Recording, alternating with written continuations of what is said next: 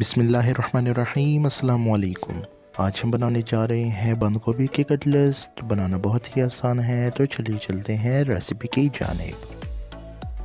गोभी के कटलेस के लिए हमारे पास अज्जा में है बंद गोभी एक अदद, हरा प्याज आधा कप, हरा धनिया आधा कप, हरी मिर्च एक चम्मच, ज़ीरा एक चम्मच, साबुत धनिया एक चम्मच, नमक हसब ज़रूरत, अजवाइन आधा चम्मच, बेसन एक कप, कॉर्नफ्लावर दो चम्मच, लहसुन पाउडर एक चम्मच। सबसे पहले हम गोभी को डाल देंगे हमने गोभी को कद्दूकश कर लिया है। इसके बाद हम इसमें डालेंगे हरा प्याज। हरा प्याज डालने के बाद अब हम इसमें शामिल करेंगे हरा धनिया।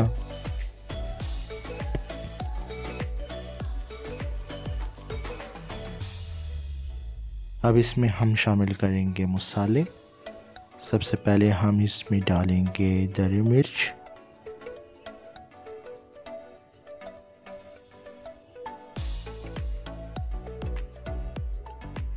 साबुत धनिया हम हाथ हाथ की मदद से क्रश करके इसमें डालेंगे।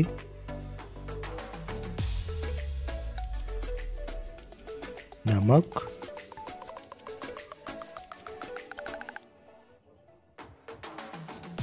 और ये हमारे पास अजवाइन ये भी हाथ की मदद से हम क्रश करके इसमें डालेंगे। मसाले डालने के बाद अब हम इसमें डालेंगे बेसन।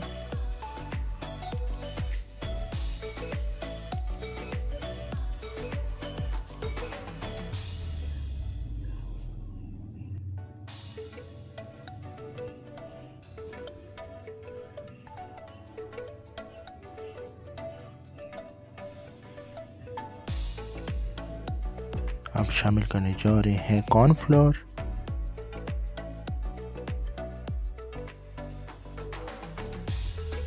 डालेंगे लहसुन का पाउडर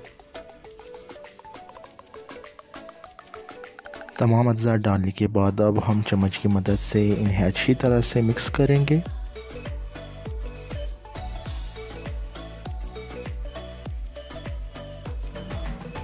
अब हाथ की मदद से हम तमाम अज्जा को पानी डाल के थोड़ा थोड़ा पानी डाल के हाथ की मदद से गूंद देंगे।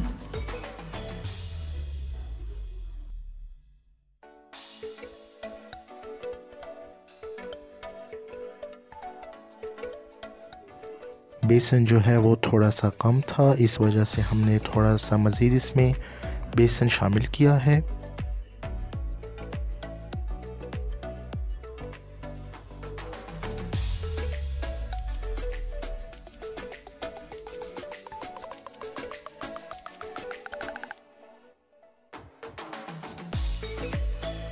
अच्छे से गूंदने के बाद अब हम इनकी बनाएँगे टिक्कियाँ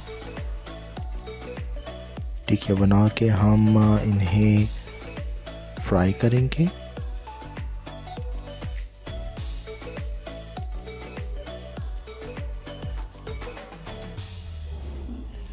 सो, पैन में हमने कुकिंग ऑयल पहले से गर्म कर रखा है। अब हम एक एक करके टिक्कियाँ बनाएँगे और इन्हें पैन में डालते जाएँगे और फ्राई करते जाएँगे।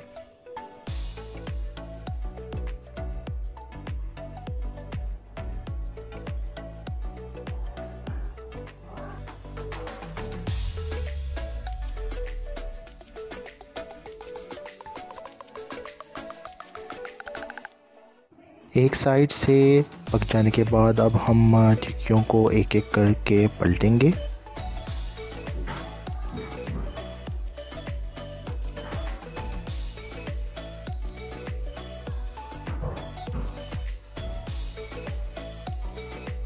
सो दोनों तरफ़ से जो कटलेस हैं वो पक चुके हैं। अब हम इन्हें डिश आउट कर लेंगे।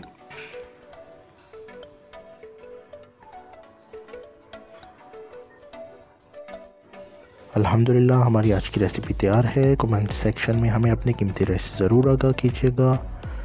अपना बहुत सारा ख्याल रखिएगा तो हमें याद रखिएगा। तो मिलते हैं अगली वीडियो में। तब तक के लिए अल्लाह हाफिज़।